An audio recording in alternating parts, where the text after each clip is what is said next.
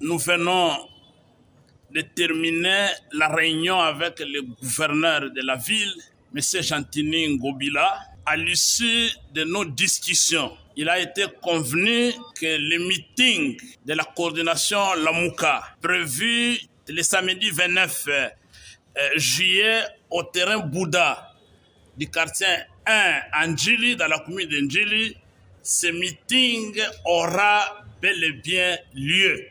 La police nationale congolaise ainsi que tous les services de sécurité ont pris l'engagement de sécuriser les colonnes de Congolaises et de Congolais qui vont quitter de tous les coins pour assister à ce meeting. Nous sommes mis d'accord, le meeting aura lieu.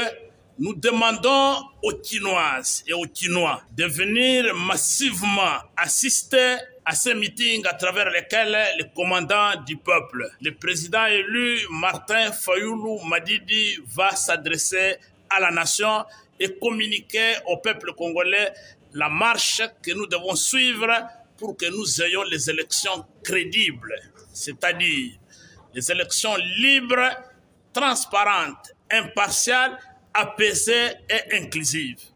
Pas de fichier électoral fiable, pas d'élection en RDC.